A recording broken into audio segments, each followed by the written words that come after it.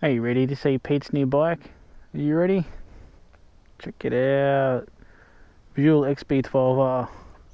Nah, it's not my bike. This is one of my mate's collector bikes that he's had in storage for a while. So I thought, you know, why not? I'm not working at the moment. Instead of playing computer games, I want to take it for a little test ride. So what do you think? Should I do a proper review on it or what?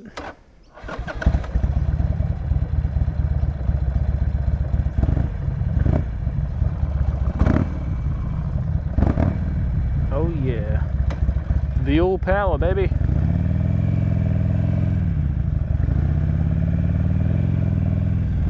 It's so freaking torquey. I've ridden lots of litre bikes and 1200s and supercharged Harleys and such. This is pretty torquey. oh, shit's all over the MT.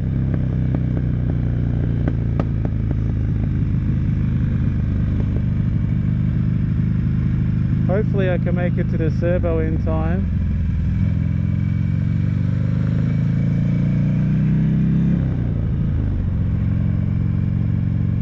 It's a heavy bike, so you've really got to sort of throw your weight, even I'm not really going that fast, but you get the idea.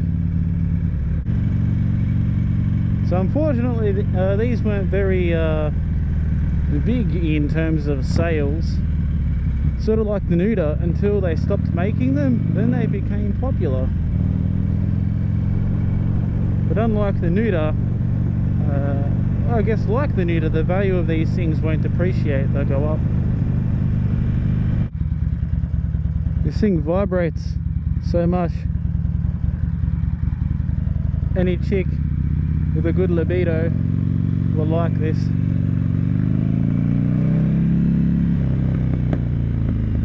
Actually, it would be good to put a cup of water on it. Mm, there's a bit of bite on that massive front disc.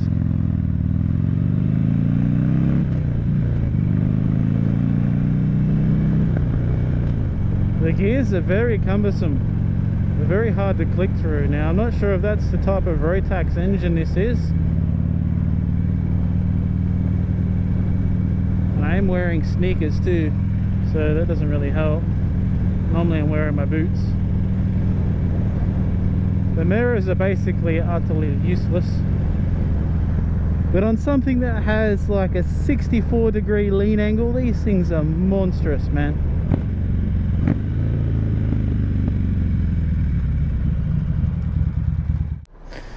All right it's all filled up. Let's take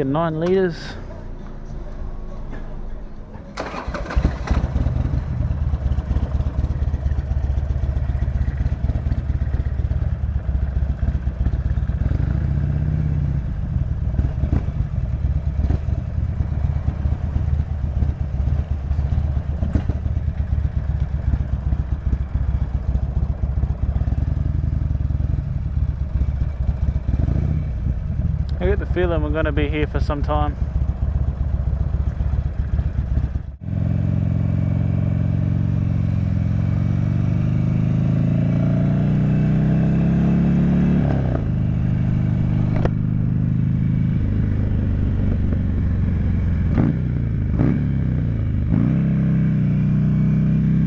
We didn't know where the indicator was. It's like, where's the indicator?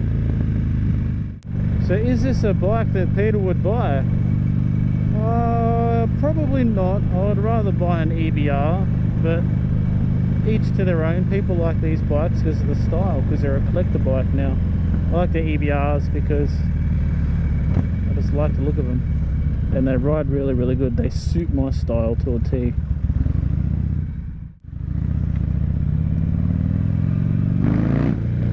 Yeah, get out of the way, bird. The firebolt is here.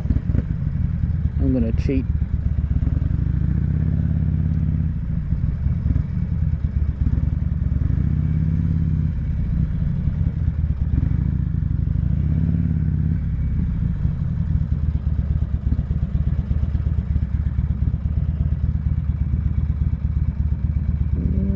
Slow decreasing turn circle. Can he do it? Yes. Look at that. Success. See, you've got that weird stand again that you've got to like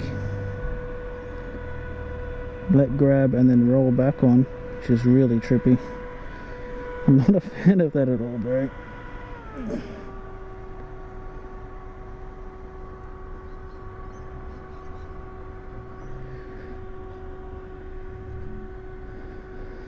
Alright, subway's just there. So let's have a look at it.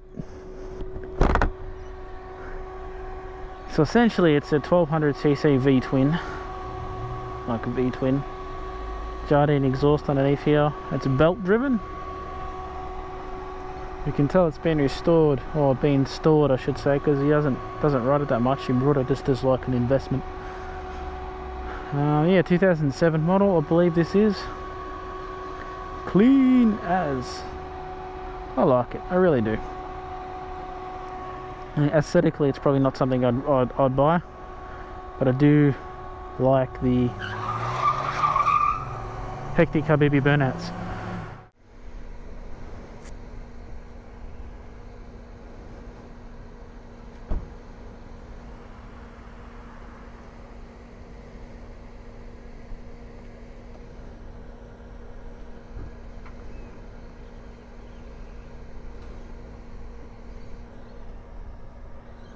Really?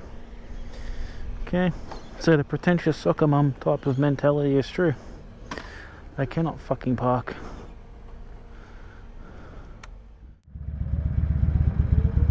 Neutral is really fucking hard to find on this bike. There we go, found it. So I don't know if you can tell, but the whole thing vibrates so much. It's ridiculous cup of water on here would be like the jaw, uh, not the jaws, the um, open face really. Uh, would be like the, what's that movie with a cup of water vibrates heaps when the footsteps of the giant monster. Jurassic Park, that's it. Uh, dum dum dum dum. The wheelie zone's just down here by the way. I'm just going there to find out what time lessons and stuff are. Because I'm going out to the wheelie zone field day in a couple of weeks. Hopefully John's there in his Buell or his EBR. John at Wheelie Zone has the um, upgraded version of this. Here's a photo of what it looks like.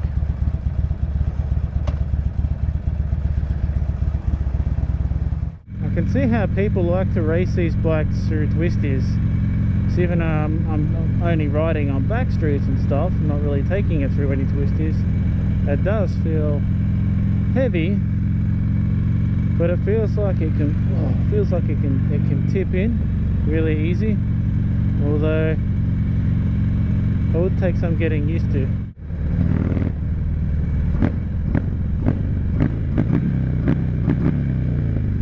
How good is Star Wars